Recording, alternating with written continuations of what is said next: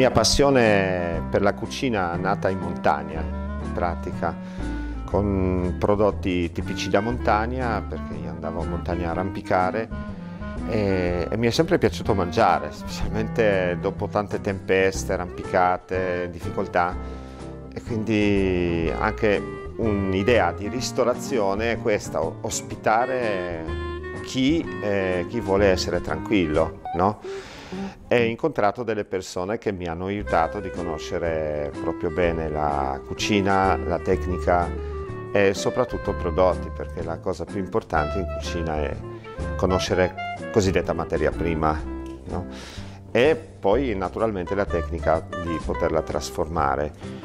E penso che un eh, buon chef dovrebbe avere questi, questi doti e soprattutto dovrebbe sempre avere una ricerca continua di, eh, di passione per, per trasformare anche ciò che conosciamo già in qualcosa di nuovo.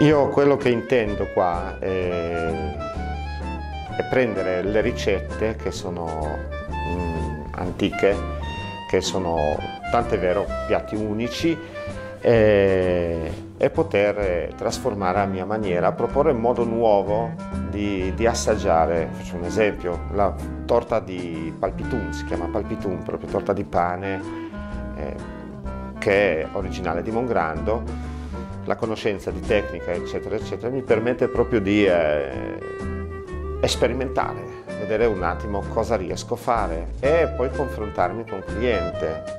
Uno piace, l'altro un po' meno e così arrivare magari a un prodotto che posso lanciare, posso dire ecco questa è la mia ricetta.